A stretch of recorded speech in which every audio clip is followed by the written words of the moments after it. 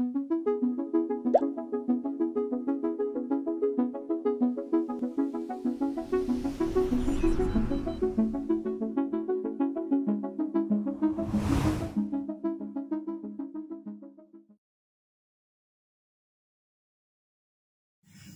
amigas y amigos del canal para estudiar con Ricardo. Bueno, vamos a calcular el perímetro de este trapecio. Para ello, a ver, yo, ¿cómo calculo el perímetro? Tengo que sumar todos los lados. Entonces tengo que conocer los lados. Entonces, partamos, ya que tenemos el área del trapecio, que es de 34 centímetros cuadrados, metros cuadrados, la unidad que sea, ¿no? Tenemos el área utilicemos la fórmula del área del perímetro para tratar de calcular el valor de x y de esa manera conocer los lados. A ver, el área de un trapecio es la base mayor sumada a la base menor, todo esto va multiplicado por la altura y dividido por 2. Bueno, ese es el área de un trapecio. El área la conozco, es 34. Vamos ahora a ver la base mayor, es 2x más 4. 2x más 4.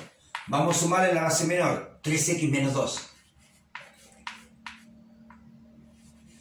Todo esto va multiplicado por la altura, que es 2x menos 2. Ahí está.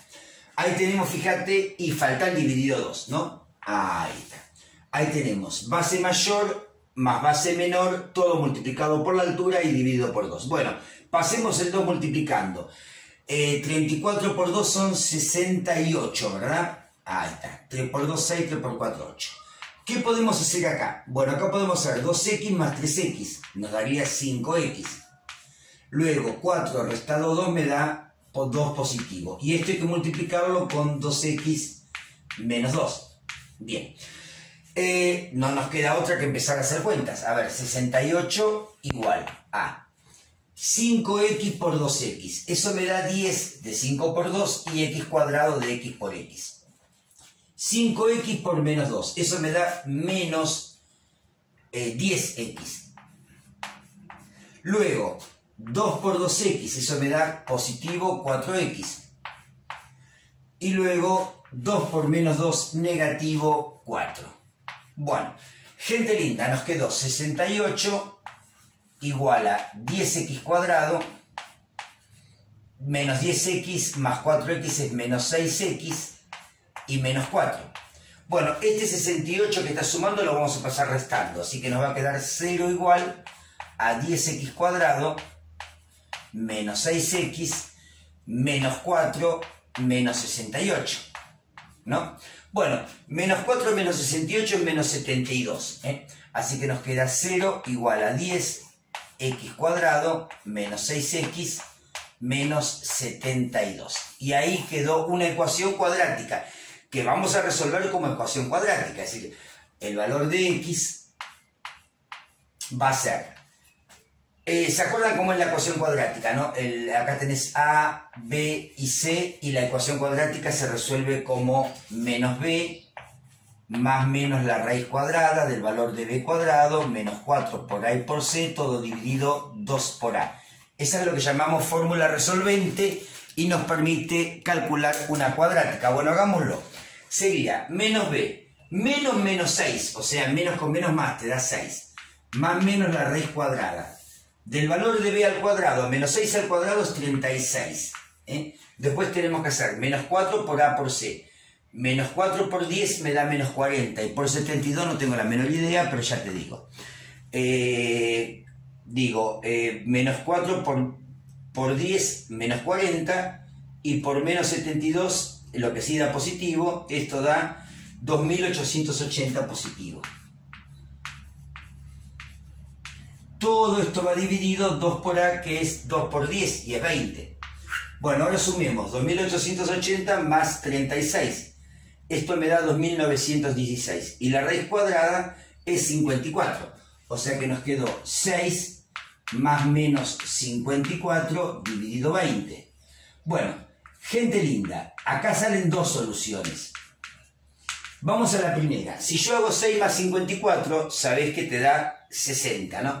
Y dividido 20 te da 3. Bueno, ese es un valor posible de x. Si yo hago 6 menos 64, 54, eh,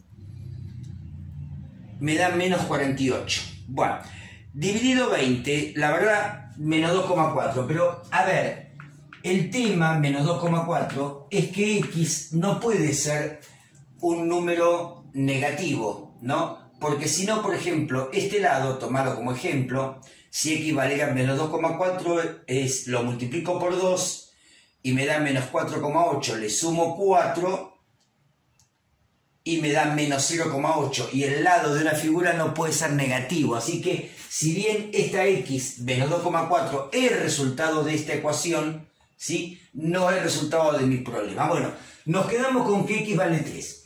Y vamos a, no solamente a quedarnos con eso, sino que también vamos a verificar que esté, todo lo que hicimos que esté bien hecho. A ver, vamos a borrar todo esto y me quedo con que x vale 3, ¿no? Bueno, si x es 3, calculemos cada lado. Y el área tiene que dar 34. Vamos a ver si es cierto. A ver, acá me da 3 por x que es 2, 3 por 2, 6. 6 menos 2, 4. La altura. X acordate que vale 3. 3 por 2, 6. 6 menos 2, 4 de nuevo. Eh, a ver, acá dice vino 3 por 3, 9, menos 2, 7. Acá le erré. Eso para hacer la cuenta mentalmente. Acá, x vale 3. 3 por 2, 6 y 4, 10. Bueno, ahí están los lados ya de, de, por lo menos los cuatro, los tres lados que son necesarios para el área. A ver, base mayor, 10. Más base menor, 7. Multiplicado por la altura, 4. Y dividido 2, a ver cuánto da.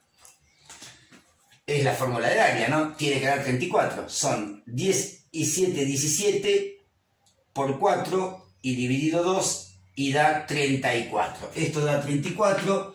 Eh, verificamos que con los valores de x los lados ya están arreglados y el área da 34, así que esto está bien. Bueno, listo. Una vez que conocemos el área, si yo quiero el perímetro necesito saber este lado. Pero este lado está complicadito, ¿no? Lo que sí sabéis es que podemos usar el teorema de Pitágoras. Porque si yo acá me armo un triángulo rectángulo, mirá las características de este triángulo. Este cateto mide 4 igual que la altura. ¿Y este cateto cuánto mide? Bueno, este, este viste que la base mayor es 10, ¿no? Eh, la base mayor es 10. Si vos le sacas a 10, le sacas 7, te queda 3 acá. ¿No? Fíjate, 10 menos 7 que tenés acá de base menor, te queda 3. Y ahora me quedó un triángulo rectángulo, como podrás ver, con un cateto de 3, otro de 4 y otro desconocido. Pero no le pongamos X, porque X es la incógnita, viste, eh, anterior. Ahí, ahí, no, no me gusta ponerle X. Bueno, este cateto es la misma altura. Y este, ¿cómo lo sacamos? Restando la base mayor con la base menor. En la, base menor, fíjate que es, así, 7, 10 menos 7 me da 3. Bueno, entonces, por Pitágoras, la hipotenusa al cuadrado es la suma de los cuadrados de los catetos. 4 al cuadrado más 3 al cuadrado. Bueno, 4 al cuadrado es 16. 3 al cuadrado es 9. O sea que W cuadrado es 25. O sea que W es la raíz cuadrada de 25. Siempre que pases el cuadrado queda módulo. Y claro, el módulo te permite que el resultado sea positivo o negativo. Acá no, porque estamos hablando del lado de, una figura, no puede ser negativa. ¿eh? O sea que W vale 5, la raíz cuadrada de 25. Este lado vale 5. Gente linda, tenemos todo para hallar el perímetro. Empezamos por la base mayor, ¿eh? que es AD. Le sumo la altura que es AB. Le sumo la base menor que es BC. Y le sumo este lado que hasta ahora era desconocido que es CD. Bueno, el perímetro es entonces AD, la base mayor, 10. Más la altura, 4. Más la base menor, 7 más el lado este que era desconocido de la diagonal, que es 5. Bueno, ahora hagamos cuentas.